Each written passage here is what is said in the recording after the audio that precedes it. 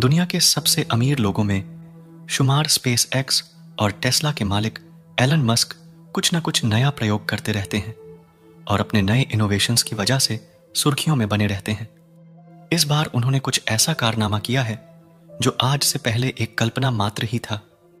आज से पहले हम कल्पना ही कर सकते थे कि क्या इंसानी दिमाग के सोचने मात्र से ही किसी टास्क को किया जा सकता है और काल्पनिक शक्ति से ही किसी कंप्यूटर को कंट्रोल किया जा सकता है।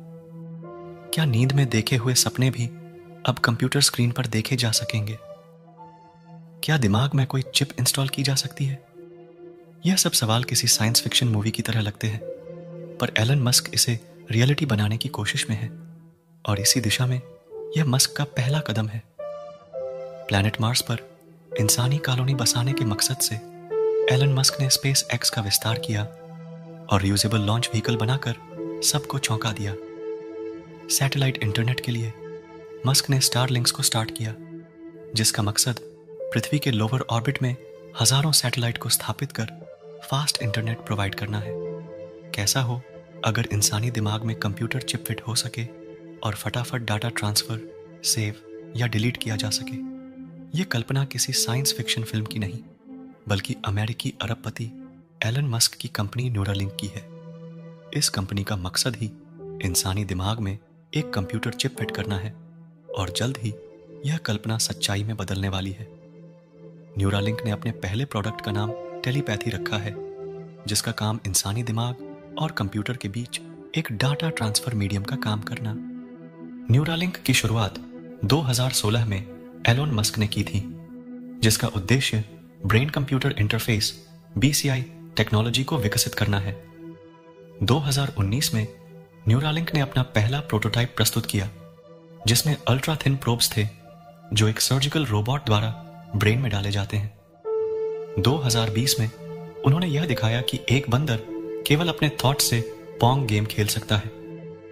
कई चुनौतियों के बावजूद, जैसे कि इंटरनल कॉन्फ्लिक्ट्स और हाई टर्नओवर न्यूरालिंक ने 2022 में एफडीए से अपने पहले ह्यूमन ट्रायल्स के लिए अप्रूवल प्राप्त किया। फरवरी 2024 में उन्होंने पहली बार एक ह्यूमन में अपनी डिवाइस को इम्प्लांट किया, जो एक महत्वपूर्ण माइलस्टोन था। न्यूरालिंक का भविष्य बहुत ही एक्साइटिंग है। इसका मेन फोकस न्यूरोलॉजिकल डिसऑर्डर्स जैसे कि पार्किंसंस एपिलेप्सी और स्पाइनल कोड इंजरीज के ट्रीटमेंट पर है। इससे पैरालाइज्ड पेशेंट्स अपने लिम्स को फिर से कंट्रोल कर सकेंगे और ब्रेन इंजरीज वाले लोग अपने फंक्शनैलिटीज रिकवर कर सकेंगे। इसके अलावा न्यूरालिंक ह्यूमन कंप्यूटर इंटरेक्शन को भी इम्प्रूव करेगा। इससे लोग सिर्फ़ अपने थॉट से डिवाइसेस को कंट्रोल कर सकेंगे। फ्यूचर में यह टेक्नोलॉजी मेमोरी एनहांसमेंट और कॉग्निटिव ऑगमेंटेशन में भी हेल्पफुल हो सकती है, जिससे हम अपनी मेमोरीज को स्टोर और रिट्रीव कर सकेंगे। इस टेक्नोलॉजी के साथ एथिकल और सोशल चैलेंजेस भी हैं, जैसे प्राइवेसी थॉट कंट्रोल और सोशल इनक्वालिटी के इश्यूज़ इसलिए इसका रिस्पॉन्सिबल और सेफ़ यूज़ इंश्योर करने के लिए प्रॉपर रेगुलेशन ज़रूरी होगा। टेक्निकली न्यूरालिंक को अपने ब्रेन इम्प्लांट्स की लॉन्ग टर्म सेफ्टी और ड्यूरेबिलिटी सुनिश्चित करनी होगी, जो एक बड़ी चैलेंज है। आने वाले समय में, अगर ह्यूमन ट्रायल सक्सेसफुल होते हैं तो इसके ब्रॉडर एप्लीकेशंस और एडवांस्ड फंक्शनैलिटीज देखने को मिलेंगी। भविष्य में न्यूरालिंक और एआई का इंटीग्रेशन हमारी कैपेबिलिटीज को बढ़ा सकता है, लेकिन इसके साथ ही संभावित खतरों को भी नजरअंदाज नहीं किया जा सकता। एआई ब्रेन इंटीग्रेशन से साइबर थ्रेट्स माइंड कंट्रोल और डेटा प्राइवेसी जैसे मुद्दे सामने आ सकते हैं। यह सुनिश्चित करना ज़रूरी होगा कि इस तकनीक का उपयोग मानवता के भले के लिए हो और इसके मिसयूज को रोका जाए।